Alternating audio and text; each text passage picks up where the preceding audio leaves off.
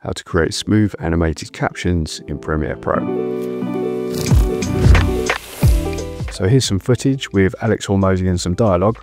Go to text, and if you don't have text, go to window and down to text, and it will open up. In the text pane, under the transcript tab, hit the blue transcribe button and it will take a moment to transcribe the dialogue. There's your dialogue. If you need to make corrections, you can double click any word and make corrections, but if it's all good, hit the two C's to create captions. In the caption options, open up the menu, set the maximum length of characters to 17 in this case, set the lines to single, and up here you can save those settings as a preset in case you need to create captions again in this project. Hit create captions and it will create your captions. As you can see, they've appeared on the subtitle track in green there, and you can also see them in the program window. Click and drag around the captions to group them together. Head up to properties. We just need to make one change here, and that's to change the alignment and transform to center. Now we could style the captions here, but we can't animate them here. So we're going to add them to the timeline so that we can deal with them like graphics. Right click on the subtitle track, click add new track, click OK. Now group all the captions, hold down Alt and drag to copy onto the new track. This is just for a backup in case anything goes wrong.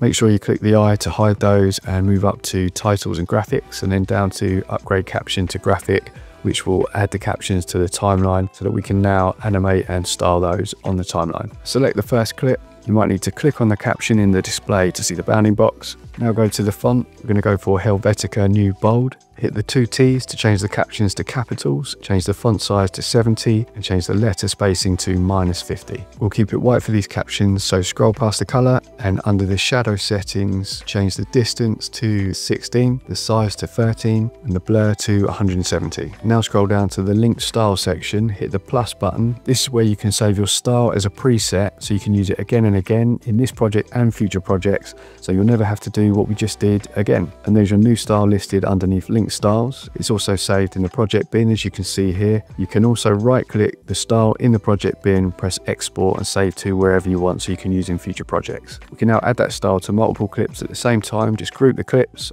and drag the style onto the clips. And now that we have the style on the caption clips, let's move on to the effects. Move up to the effects pane and search for transform.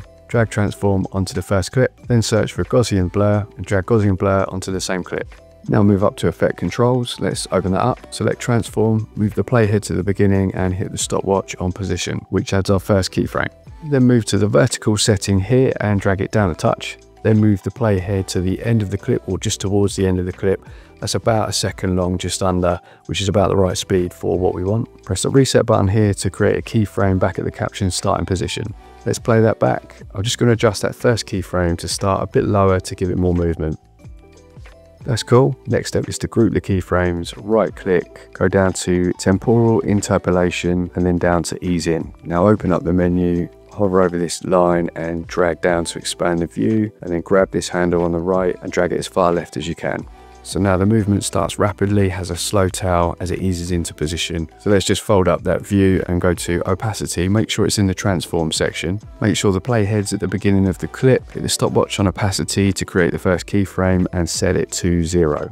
Now move the playhead along to about halfway, just under. Hit the reset button, that will bring the setting back to 100. Group the keyframes, right click and go to ease in. Now head up to Gaussian blur. With the playhead at the beginning, hit the stopwatch on blurriness set it to 35, move the playhead along to where the opacity ends and set the blurriness to zero.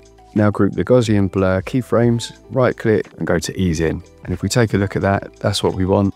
Now let's save that effect as a preset. If you press Control and left click Gaussian blur and transform, it will select both effects and then right click either one and go to save preset, name your preset, and then you've got the choice of three types. And for this preset, I'm actually gonna make two versions, one as scale and one as anchor to endpoint. Both types come in handy for this type of effect. Scale will adjust the effect to the size of the clip you're adding it to, whereas anchor to endpoint will keep the effect the same size regardless of the clip that you're adding it to. So if you have a long clip, scale will make the effect longer to fit the clip whereas anchor to endpoint will keep the effect the same size and anchor it to the beginning of the clip, it won't stretch it. So now we can add that effect that we just made to any clip we want. So let's group the rest of these clips and head up to effects. Search for the preset we just made, in this case caption smooth slide up. When you hover over it, you can see the description that we entered when we created the preset. So now drag that effect to the clips and you can see the effect we've made is now been added to all the clips. So to take it a step further, if you have a phrase that you'd like to highlight, we can make things more interesting by separating the words, changing the sizes and staggering the words in the phrase to bring them in at different times. So in this vid, Alex Hormozi says, if you're never going to lose, you're never going to win. So I'm going to take that phrase and separate each bit into different parts and we'll affect it so that it comes in in a staggered way. So I'm going to keep the word you're on its own and then I want never on its own as well. Well, but at the moment it says never going. So I'll cut that clip and the first half is going to be never on its own. So I'll delete the word going and the next clip is going to be going to on its own. So I'm going to add going to to that clip. And then the last clip just needs to be win and we can make that big to finish up with. And then all we do is extend the ends of the clips so they all overlap. As you can see right now on the display, they're overlap. We need to rearrange it. So you can click on each one and manually drag the positions of the clips to where you want them. And you can use the settings in properties to move things about as well as resize the font. It can get a bit hectic, so I'd advise to lock all the layers apart from the one that you're actually moving. Okay, so that's our arrangement. Let's have a look. Looks cool, apart from that third line doesn't have an effect because we kind of created a new clip by cutting one. So let's add the effect to that third clip and then run that again. You're never going to win. Okay, so we're kind of there. Let's just adjust the end so that it staggers out as well as staggers in. And then I'm going to add a blur out effect to the end. And I made that in the same way as the slide in, but reversed. So adding that to the end is an extra touch you might want. Let's play that back. And so if you're never willing to lose, you're never going to win. Hope that helped. See ya.